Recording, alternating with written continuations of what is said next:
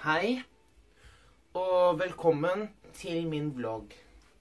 Dette blir nok min aller første, fordi eh, Altså, første videoen på lenge. Første videoen på lenge. Og eh, eh, i dag så skal jeg på øvelsestur med megbandet. Det blir ganske spennende. Og eh, ja. Eh, søsteren min er i dusjen. Men det trenger ikke dere vite, jeg, det trenger ikke dere vite, for det er veldig dagligdags. Um, jeg heter har fasting. Alle dere, nesten alle dere veit det. Vet det. Um, jeg er 18 år. Og uh, bor i Drammen. Ik um, nesten Altså ikke veldig langt fra Oslo. Eller for, for å være ærlig, ikke veldig langt fra um, Man ikke langt fra um, Asker. Ikke langt fra Asker. Faktisk. Ikke langt fra Asker. Uh, OK. Um, jeg, jeg er eh, fan av Eurovision Song Contest. Eller i hvert fall alle Eurovision-konkurransene. Og um, Min største drøm er å komme til eh, Er å fi- Ja. Den drømmen kommer ikke dere til å høre, fordi at eh, det blir mye. Men akkurat som jeg nevnte i sted, altså um, Jeg skal på øvelsestur med megabandet. Og um, For å si det helt mildt, så eh, Jeg er Altså i det Jeg, jeg går Jeg spiller i Megabandet. F- For å være eksakt så går jeg på junior. Eh, egentlig heter det junior og mikro, men egentlig heter det junior og mikro. Men så var det eh, instruktørene, da. De bestemte seg for De bestemte da seg for å sammenkoble mikro og junior. Slik at det bare heter junior og mikro. Så eh, Jeg spiller også Pilter. Altså, jeg fikk egentlig oppdraget av Veronica, som er instruktøren i Pilter, fordi at eh, de hadde ikke så veldig De hadde ikke mange sanger igjen i Megabandet. Eller de hadde ikke mer sanger igjen i eh, Eller de hadde ikke sangere igjen i eh, Peter. De hadde bare An- Anette. Så jeg gleder meg.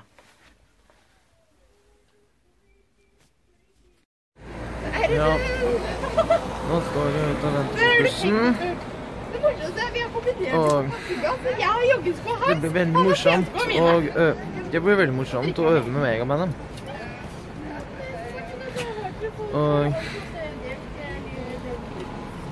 Har meg bok, og vet du hva som er boken det her? Det er Harry Potter. Den nyeste boka. Så Det er prøvemanuset. Det er her er det Jeg fått den, jeg kjøpte den egentlig. Ja. Ja, Egentlig har Megabandet over 60 medlemmer. Du har.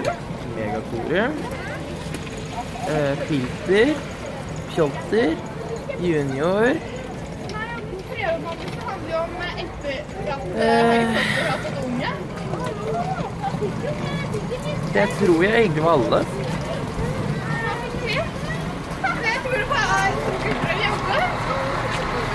Og så er det at Megabandet har fremført på eh, Disneyfestivalen i Oslo. De har hatt eh, konsert i eh, Teater, jeg tror det var eh, nå før jul. Nå før jul. Og nå er det selveste øvelsesturen til eh, konserten i Bragernes kirke. Jeg gleder meg. Og nå ser det ut som bussen kommer. Jeg gleder meg.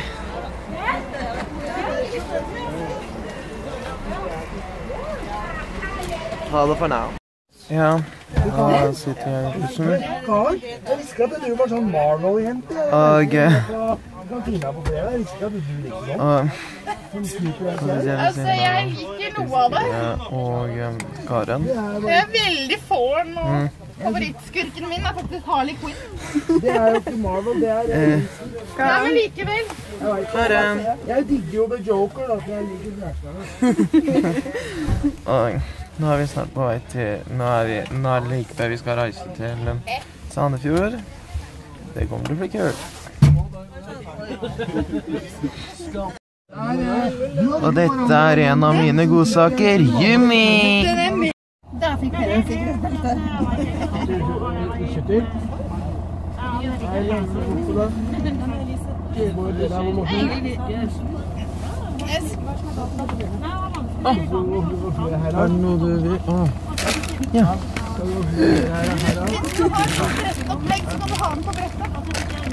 Ja. Øh. Wow, nå drar vi! Juppi! I tilfelle hvis det er film. ABG60.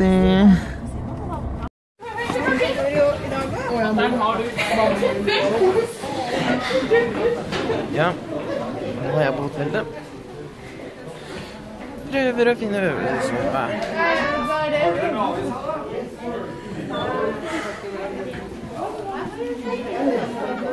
Nei, Kristine! Det var med korvis. Ja.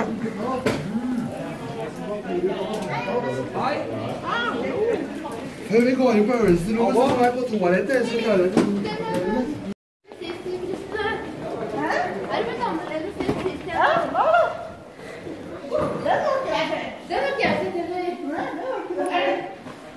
Jeg tror pappa hadde elsket dette.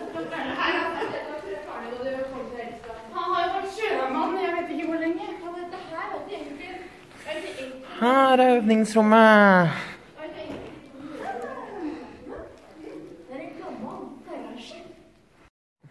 Det blir informasjonsmøte her også. Ja.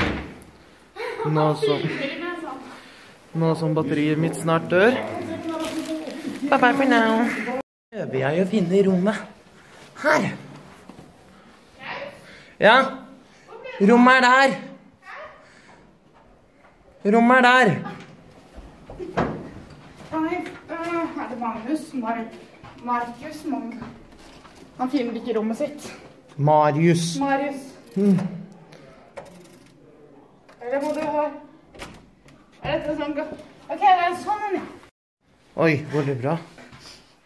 De har plassert oss i en dobbeltseng!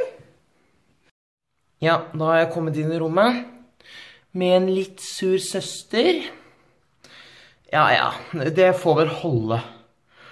Men eh, batteriet mitt gikk, og da måtte jeg, da måtte jeg lade den, og det var her, og her, her var det egentlig det eneste stedet jeg skulle lade den, fordi at det, der inne, der var, det, der var det faktisk ikke lurt å lade, for der eh, ville den ikke lade likevel.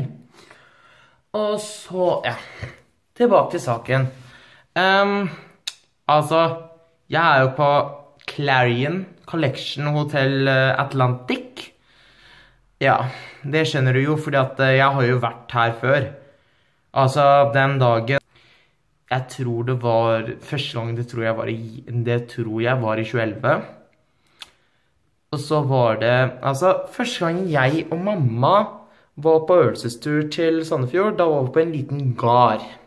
Og det var så langt som til 2010. Eller det var så langt som til 2010.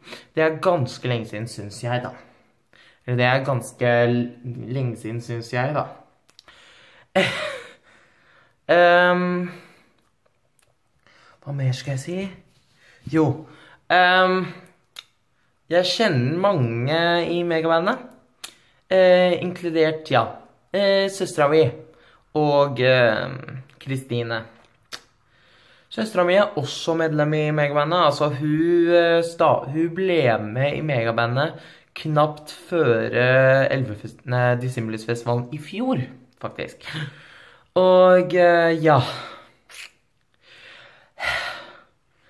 Det er bare at um, i dag så, må, så skal vi snart spise middag, og um, Det er det at Karen hun ble litt sånn sur, så hun bestemte seg, hun bestemte seg heller for, Hun bestemte seg heller for å um, gå opp Hun bestemte seg eller for å sove, i, eh, sove på gulvet fordi at hun hater å sove med brødre. I hvert fall, hun er jo Hun er ikke veldig vant til å sove med brødrene lenger. Fordi, nei, med, med hennes bror lenger. Fordi at eh, Altså, hun tror jeg øh, kan fjerte hun, hun sier at jeg kan fjerte noen ganger, og det er ikke noe særlig fint, ikke sant? Og så er det det at eh, noen ganger så er det jeg klager på Nei, så er hun klager på grunn av at hun eh, og jeg har måttet sove i samme seng. Altså, det var egentlig ikke meningen.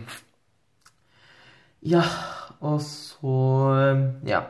Resten av dagen, det bare består av middag, og så er det ut og spi... Nei, middag, og så er det ut og spise og sånn. Jeg tror jeg nesten klarer hjemme. Eh, se senere. Eh, ja, nå sitter jeg her med Det her er det jeg spiser og drikker. En ostekake. Og kaffe med melk. Med melk. Og ja, dagen går fint eh, for øyeblikket. Og at jeg ble stille fordi at det var en eller annen sånn Nikomino. Men uh, Snart er det Det er pause her på Clarion. Og eh, ja Jeg gleder meg litt til middagen i dag. Da er det ti- ting jeg egentlig liker, utenom å game sånn barnevennlig spill og sånn. Da er det at jeg elsker og er det at utenom, utenom at jeg elsker å spille sånn barnevennlig spill, så er det det at jeg liker å eh, Jeg liker å synge. Og det er det jeg lever av. Sorry at jeg noen ganger er litt stivere fordi at det er noe som går for Men som jeg sa i sted, det er faktisk pause på øvingene på del én. På i hvert fall øvende første Jeg kaller det på en måte first rehearsals, fordi at eh, på søndag så er det jo selve generalprøven. Altså da er det jo selve generalprøven. Så det går faktisk fint eh, for øvrig. Det kommer til å gå fint for øvrig. Ja. Og eh, hvis det er noe dere liker i Hvis det er det Hvis det er noe dere liker i um, Hvis det faktisk er noe dere liker i um, i fritiden Kommentere kommentarfeltet. Ja. Det var en ganske fin dag, og det er bra dere fulgte med mesteparten. Så thanks for watching.